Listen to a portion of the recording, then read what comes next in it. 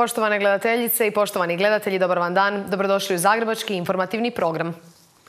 25-godišnji zaštitar namjerno je uzrokovao dva požara u Rockefellerovoj ulici u zgradi imunološkog zavoda u kojima je u ponedjeljak izgorio ormar u sobi za demineralizaciju, dok je u arhivu u upravnoj zgradi u potpunosti izgorio dio registratora s upravnopravnim dokumentima. Što je zaštitara nagnalo na taj čin, znat će se kad istraga bude gotova. Sada prelazimo na ostale vijesti. Prije 24 godine pobunjeni Srbi izvršili su dva raketna napada kasetnim bombama na civile u Zagrebu. Time su se htjeli osvetiti za vojni poraz u operaciji Bljesak koji su doživjeli dan ranije u zapadnoj Slavoniji. Pred televizijskim kamerama to je priznao njihov tadašnji vođa, ratni zločinac Milan Martić. U napadima je smrtno stradalo sedmero ljudi, dok ih je 205 ranjeno. Jedan od njih je i Vanja Majetić koji je tada bio gimnazijalac. Bio je lijepi dan, ništa nije ukazivalo da bi se nešto tako moglo dogoditi. Čak smo se šalili jutro prije nastave, komentirali smo izjavu od Martića kako će on napraviti odmazdu, mi u to nismo vjerovali.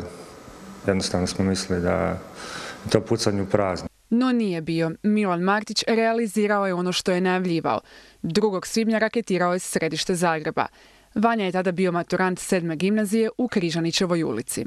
Čula se vriska, niko nije znao šta se zapravo dogodilo. Ja se nalazio na igralištu gimnazije.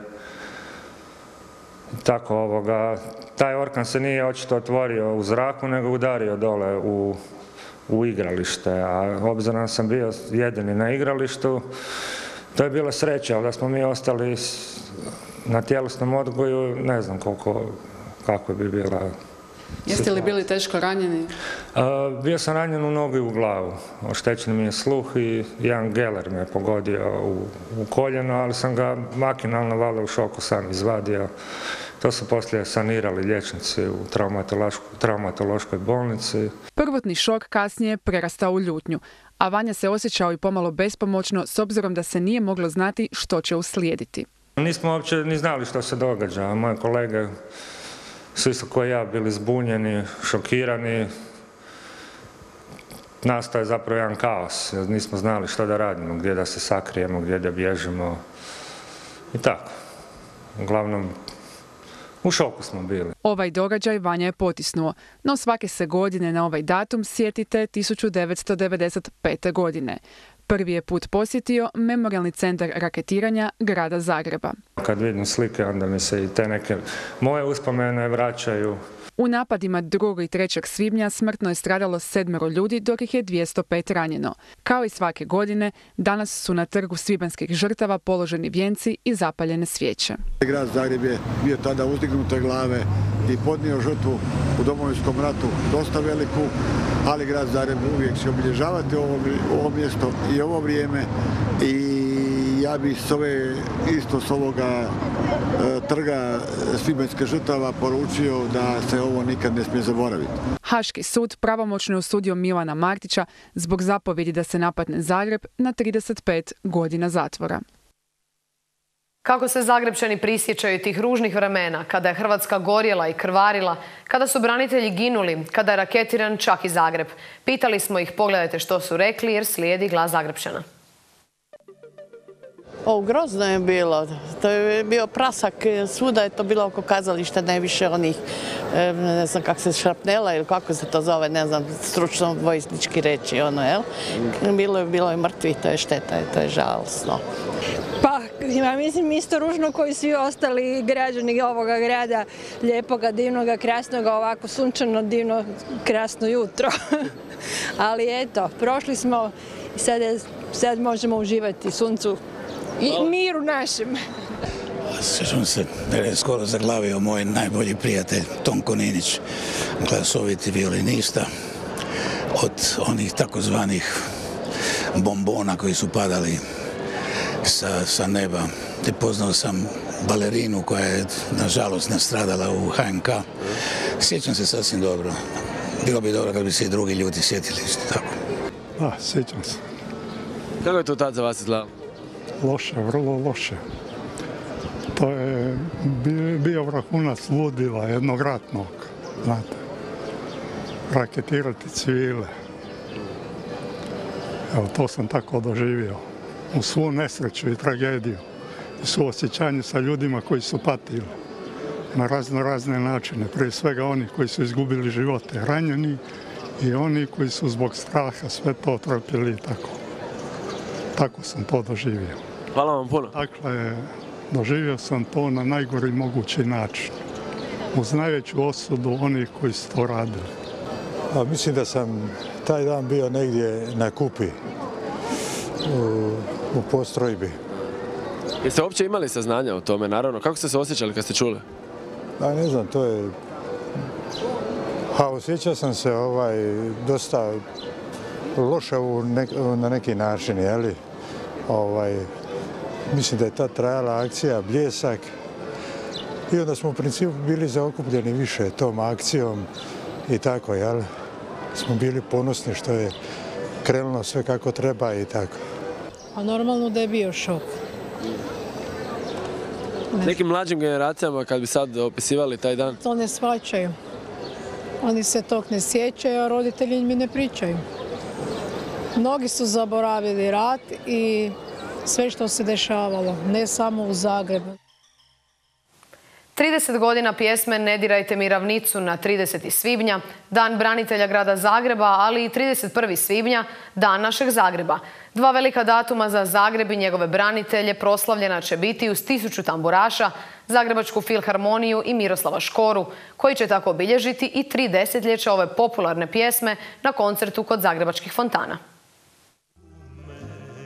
Prije 30 godina Ne dirajte mi ravnicu Jer ja ću se vratiti prije tri godine na Zagrebačkom Tomislavcu.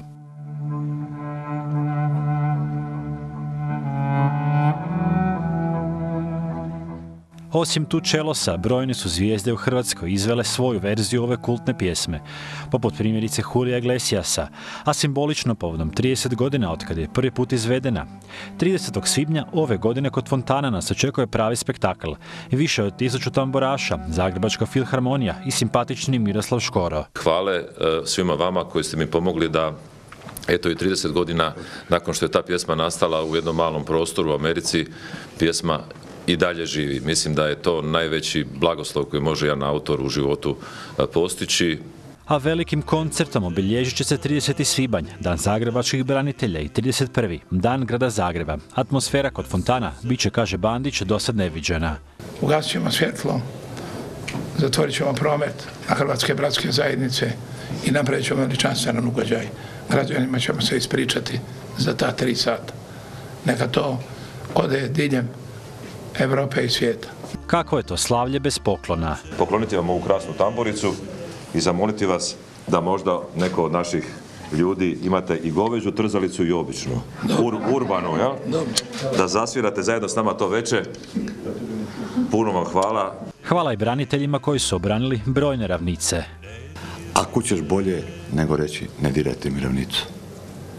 I onaj koji bude dirao polomit će ponovo zube. A uz pjesmu koja slavi svoj 30. rođendan, Ne dirajte mi ravnicu, bit će izvedene i druge popularne domoljubne pjesme poput Svetinja i Sude mi.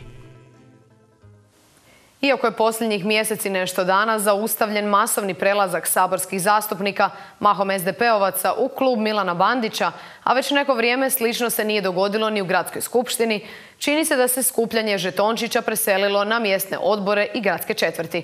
Najnovija gradonačelnikova akvizicija su dvoje članova mjesnog odbora Gajevo iz redova nezavisne liste Zagreb, odnosno bivše liste, bivše Bandićeve zamjenice Sandre Švaljek. Dvije godine u mjesnom odboru Gajevo vlast održali SDP, HNS i Napred Hrvatska uz pomoć spomenute nezavisne liste Zagreb. No došlo je do prevrata. Gordan Ratka i Ljubica Čurić, članovi nezavisne liste Zagreb, odjednom su promijenili stav i umjesto dosadašnje predsjednice vijeća SDP-ove Ljiljane Suzić glasali za HDZ-ovu Maju Trut. HDZ i lista gradonačelnika Milana Bandića očito prakticiraju e, pitanje e, i e, način utjecanja na, na razini i mjesnog odbora po principu Hrvatskog sabora. Siguran je Maras da Ratka i Čurić stranu nisu promijenili samo tako, zato što misle da će Bandićevci i HDZ posao raditi bolje. Moguće tvrdi da ih je na to prisilio posao. Da li je to zbog toga što i gospođa Sandra Švaljak e, zbrinuta u Hrvatskoj narodnoj banci, a nakon toga e, su njezini vijećnici ostavljeni na način gdje ko radi, u ovom slučaju rade u upravi, odnosno u gradskom holdingu. Konkretnog razloga za smjenu nije bilo, tvrdi dosadašnja predsjednica vijeća mjesnog odbora Gajevo. Sve odluke do sada smo u vijeću donosili jednoglasno, dakle od 25 održanih sjednica, prosječno šest točaka po sjednici, sve su bile jednoglasno donešene. Dakle, uvijek smo gledali da se zadovolji interes našeg kvarta. Da li je e, princip rada žetončića sa Hrvatskog sabora i Gradske skupštine sada čak apliciran i na razini mjesnih odbora u gradu Zagrebu. Ukoliko je, ono što vam mogu reći i obećati da će se to za dvije godine prekinuti jer ovakva vrsta vladanja u gradu Zagrebu je dala svoje. Podsjetimo da je gradonačelnikov saborski klub s jednog u jednom trenutku narastao na čak 12 zastupnika, da mu je u skupštinski klub prešto dvoje SDP-ovaca, dok je čak troje tada oporbenih zastupnika diglo ruku za prosinački proračun, iako su tvrdili da to neće učiniti. A u našem studiju pozdravljamo gospodina Rami Zajdina, člana udruge Romski san, predsjednika povjerenstva za nacionalne manjine Zagrebačkog HDZ-a te romskog aktivista. Tema imamo na pretek pa nećemo duljiti nego odmah prelazimo na pitanja. Dobar vam dan, dobrodošli. Dobar dan, hvala na pozivu i prodajem vaše gledatelje. Dakle, pred nama su izbori za članove vijeća i predstavnika nacionalnih manjina i vi ste kandidat. Što vi očekujete, odnosno još važnije, što e, sugrađani mogu očekivati od vas ako budete izabrani? Pa prvenstveno ovim putem želim zahvaliti e, udruzi Romski san e, koja je kandidirala 25 e, kandidata, od toga je 80% mladih zapravo u, u kandidaturi, koja je spremna doprinijeti i poboljšanju kvalitete mladih Roma u Zagrebu. Ono na čemu ćemo svakako raditi je obrazovanje i zapošljavanje. To je samo jedan od segmenata koje ćemo raditi. Kad govorimo o zapošljavanju, onda mislimo na srednjoškolci koji završavaju trogodišnju ili četvrgodišnju školu, gdje bi pokušali automatizmom zapravo završene škole da bi dobili posao. Mislim da ćemo na taj način zapravo i potaknuti ostalu djecu koja se evo, školuju i koje misle normalno i suživot imati u Zagrebu, i u Hrvatskoj. Spomenuli smo vašu udrugu Romski san, možete li nam je predstaviti? Naravno, eto, uh, udruga Romski san je skoro 16 godina znači ovaj, aktualna jako. Uh, kroz ti uh, mandata vijeća udruga Romski san je doprinijela izradom akcijskog plana zapravo u gradu Zagrebu. Ja ću samo nabrojati neke, to je znači stipendije, javni radovi, zapošljavanje, besplatni upis u vrtiće i stambeno zbrinjavanje. Što je najbolje od svega, sav taj akcijski plan zapravo koji su oni donijeli, koriste sve udruge u gradu Zagrebu. kada govorimo o pravima Roma u Hrvatskoj pa i u Zagrebu, kako možemo ocijeniti to stanje? Idemo li, imamo li nekakvih pomaka ili se kojim slučajem nekako vraćamo unatrag, možda idemo ka goremu? Pa ja bih rekao ovako, da vlada i grad Zagreb zapravo intenzivno rade na poboljšavanju zapravo kvalitete života ne samo nacionalne manjine, nego i ostalih građana u Republici Hrvatskoj kao i u Zagrebu. Što se tiče Roma na razini Republike Hrvatske, mislim da se može puno bolje za nacionalne manjine, kažem, za Rome, kao što je grad Zagreb upravo napravio s akcijskim planom zapravo u gradu Zagrebu, gdje se zapravo eto, rješavalo stambeno pitanje, stipendije koje sam nabrojio malo prije, javni radovi, a zahvaljujući se to znači udruzi Romski san. Kada je donesen taj akcijski plan? 2012. godine. I od sada se zapravo intenzivno dakle, radi na, na ovim projektima? Tako tako. To trebamo zahvaliti, kažem, gradu Zagrebu, gradonačelniku i naravno gradskoj skupštini. Spomenuli smo evo vašu udrugu. Koliko su Romi zapravo dobro povezani, odnosno koliko rade jedni, jedni za druge kada govorimo o gradu Zagrebu. Dakle, evo vaša udruga dakle, surađuje s gradom, što je najbolji način za napraviti konkretne pomake. Ima li još sličnih udruga, udruženja? Jesu li Romi jedinstveni, povezani? Pa ja bih na to pitanje ovako odgovorio, da nažalost u gradu Zagrebu, kad govorim u gradu Zagrebu, udruge pojedine surađuju. Najbitnija stvar je zapravo vijeće romske nacionalne manjine grada Zagreba gdje je zapravo produžena ruka zapravo gradskim gradskim znači ovim ljudima koji rade tamo, znači i gradonačelniku. Zapravo problematika u gradu Zagrebu kad se rješava, onda e, moraju biti zapravo e, upitani vijeća, zapravo, jer oni su jedino izabrani legalno, znači na način narod koji zabire zapravo, evo, koji sada u nedjelju, petog petog. Kada govorimo o izborima, koliko su pripadnici romske nacionalne manjine zainteresirani za te izbore, koliko su educirani, informirani? Pa moram priznati po tom pitanju e, da je slabo, jer mislim da na izborima za manjinske izbore nije uključen gong. E, gdje je po meni e, to jako bitno zapravo, jer izbori su u cijeloj Hrvatskoj. Iz kojeg razloga zašto nije uključen gong, to stvarno ne bih znao, ali to je dobro pitanje, uputite one kome treba. Da li su dovoljno educirani? Mislim da nisu, jer za to sve to trebate financije. Što vam se čini s medijskom pokrivenošću? Kada govorimo o drugim izborima, eh, sa svih nekako naslovnica i televizijskih priloga slušamo o tim izborima. Kada je riječ o ovim izborima koji su 5. svibnja, vjerujem da provedemo anketu da građani Zagreba ne bi znali da su ti izbori možda sad. Pa ja sam siguran da ne znaju zapravo, mislim da ni 5% zapravo građana u Hrvatskoj ne zna ovaj, da te izbore. Eh, nažalost, kažem, medijski je to slabo popraćeno. Eh, kažem, to je jedan od razloga zašto GONG nije uključen u tu priču, ali mislim da GONG ima ključnu zapravo kariku u toj priči i bi se naravno i vi kao mediji uključili, popratili taj, te izbore. Kada govorimo o trenutnim predstavnicima manjina, a prije svega dakle romske, koliko oni rade na integraciji Roma u društvo, na uklanjanju tih barijera koje možda postoje između većinskog naroda i romske manjine, koliko ste vi zadovoljni zapravo tim radom? ono, što sam, ono što moram naglasiti je da postoje vijeća i predstavnici uh, romske nacionalne manjine zbog zakonskih okvira ili zakonske ovlasti koje vijeće ili predstavnik ima, oni imaju ulogu savjetodavnog tijela zapravo samouprave. E sad, iz tog razloga njihov prijedlog može se prihvatiti ili ne prihvatiti. Znači da je to slaba, slaba komunikacija i zastupljenost. Kad govorimo o Saboru i tamošnjem predstavniku, kako ste zadovoljni gospodinom Kajtazijem i njegovim radom? Pa ja ne bih previše ovaj komentirao. Mislim da gospodin saborski zastupnik Kajtazi radi u principu na poboljšanju zapravo Roma u Hrvatskoj. Međutim, mišljenja sam da kako e, na državnoj razini, tako na gradskoj razini bi trebalo dovesti primjerice gradska skupština e, gdje bi trebalo možda e, participirati zapravo sve nacionalne manjine da budu uključeni u gradsku skupštinu, da bi imali također glasa kako u Saboru, tako i u skupštini, gdje bi zapravo i sama njena zajednica kao romska imala zastupnika koji bi imao najbolji zapravo uvid problematiku zapravo u gradu Zagrebu. Nedavno su učenici i studenti romske manjine dobili stipendije za školovanje. Stalno govorimo o tome kako je naravno školovanje ključ, bez toga nema napretka. Kako, da ne kažemo sad natjerati, ali što više mladih da zaista završavaju školu i da shvate da je to jedini izlaz, možemo to tako reći? A, upravo je udruga, čiji sam i ja kandidat, znači za vijeće romske nacionalne manjine grada Zagreba, Romski san, sudjelovala u pisanju zapravo kriterija za, za, za, za stipendije. Evo, ja moram primijetiti je imao zapravo ja imam dvije čerke koje su bile stipendistice, sad je ove godine jedna. Uh, pa mislim da je prosjek koji su dali grad Zagreb zapravo na 50 je bilo ograničeno. Dve godine za redom to je samo u porastu velikom. Ovaj, što znači da su na taj način zapravo zainteresirali zapravo romsku populaciju, zapravo mlade da se školuju i dalje. A ovim putem čak i apelirao zapravo da se podigne ta stavka na 100 stipendija, jer mislim da će samo na taj način potaknuti zapravo mlade da se školuju. Govorili smo o tom uh, utjecaju obitelji, za ključ je i da roditelji shvate da, uh, da djeci to najbolji put, vi ste rekli, imali ste dvije kćeri stipendistice, dakle, dakle to je veliki uspjeh zapravo i vi ste u takvom okruženju da i njih potičete, međutim to nije nažalost slučaj uh, s drugim, odnosno s mnogim nažalost romskim obiteljima.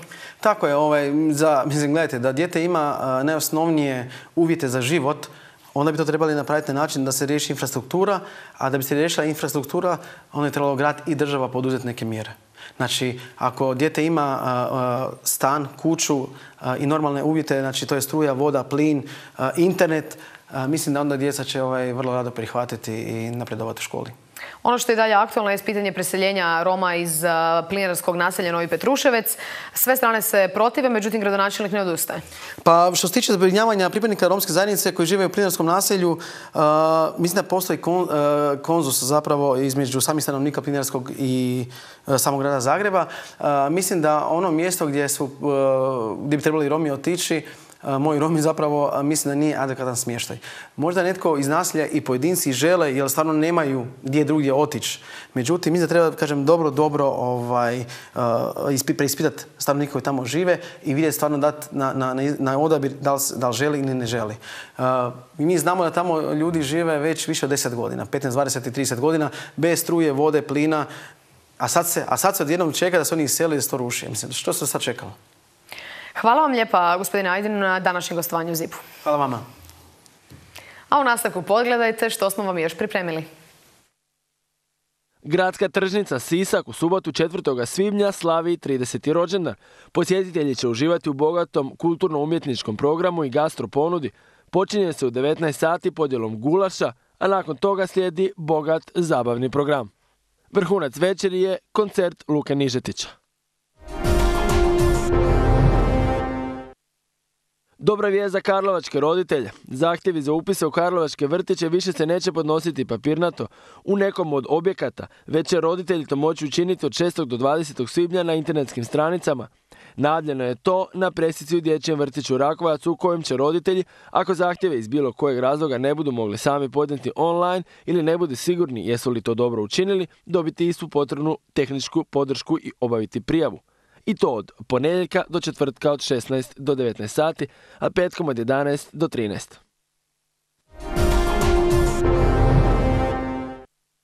Policijska uprava Krapinsko-Zagorska je tijekom jučerašnjeg dana evidentirala jedno kazneno djelo teške krađe, jedno kazneno djelo krađe i jedno kazneno djelo oštećenja tuđih stvari. U Oroslaviju je jučer, 1. svibnja, nepoznati počinitelj nasilno ušao u obiteljsku kuću u vlasništvu 60-godišnjaka iz koje je otuđio novac i nakit.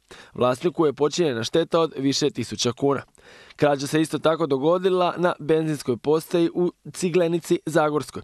Nepoznati počinitelj natočio se gorivo u svoje vozilo na benzinskoj postaji i udaljio se u nepoznatom pravcu. Materijalna šteta za poduzeće iznosi nekoliko stotina kuna.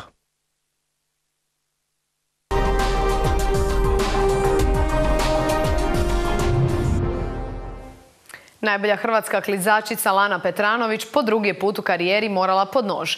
Ovaj put operacija koljena bila je još teža nego ranije, pa će i oporavak duže trajati.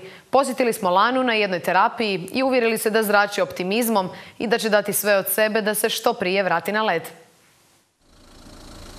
Štake su Lanin najbolji prijatelj. Bez njih ovih dana ne može. Bolno vađenje šavova je iza Lane Petranović i počeo je svakodnevni oporavak kroz terapije. No, što se zapravo dogodilo?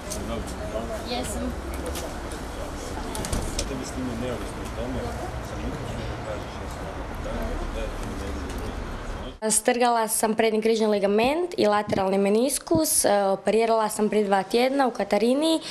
Sada sam u fazi oporavka, imam terapije svaki dan, moram jačati mišić i eto, spremna sam za dalje. Optimizam Lanu ne napušta i spremna je za mukotrpan rad kako bi se što prije vratila prvoj ljubavi, klizanju. Neće biti lako zato što je ovo druga operacija, isto koljeno i naravno treba više vremena za oporavak jer treće operacije nema ako se želim vratiti u sport, tako da će ovo biti šest mjeseci, dugih šest mjeseci. Liječnici su rekli Lani da ako će se mišić dobro izgraditi, da će se moći na led vratiti za pola godine. Lani naravno nedostaje klizanje, ali ima veliku podršku od svoje obitelji te klizačkog partnera Antonija Souze. Teško je jako partneru, ali završit će fakultet ovo vrijeme, doći će me pogledat, podržati izdržat ćemo. Ako smo prvi puta mogli, možemo i drugi puta. To je tako. Ozljede su nažalost sastavni dio sporta, ali Lana je borac i sigurni smo da ćemo je još ove godine vidjeti kako pleše na ledu.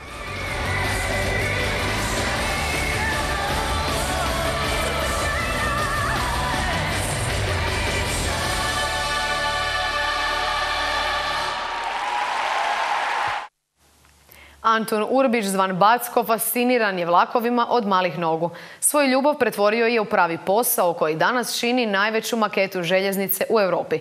U nastavku vas vodimo u svijet vlakića koji nikada ne kasne.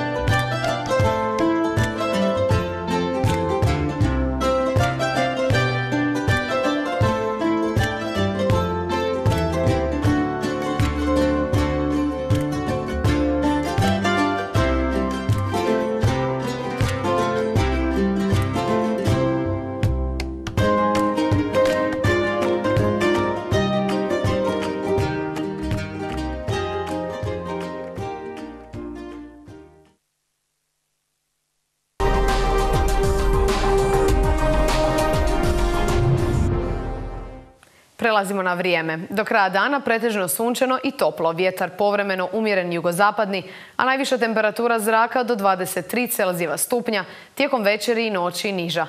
Pogledamo sada i vremensku prognozu za petak. U Zagrebu će povremeno biti više oblaka, poslije podne uz moguću kišu ili pljusak. Puhat će umjeren jugozapadni vjetar.